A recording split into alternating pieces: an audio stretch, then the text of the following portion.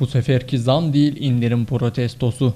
Gaziantep'te toplanan yüzlerce küçükbaş hayvan besicisi et ve süt kurumunun kuzu eti fiyatlarında yaptığı %25'lik indirim kararına tepki göstererek D400 karayolunu trafiğe kapattı. Zaman zaman gerginliklerin yaşandığı ve metrelerce araç kuyruğunun oluştuğu olay bir süre sonra sona erdi. Gaziantep Nizip arasındaki ulaşımın sağlandığı D400 karayolunda toplanan hayvan besicileri yolun 20. kilometresini çift taraflı trafiğe kapatarak Et ve Süt Kurumu'nun kuzu eti fiyatlarında yaptığı %25'lik indirim kararını protesto etti.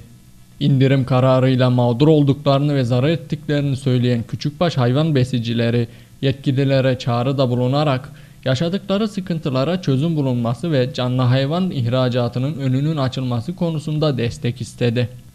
Öte yandan trafiğe kapatılan ve uzun araç kuyruğunun oluştuğu D400 karayolu olaya müdahale eden jandarma ve polis ekiplerinin çalışmasıyla 30 dakika sonra tekrar trafiğe açıldı.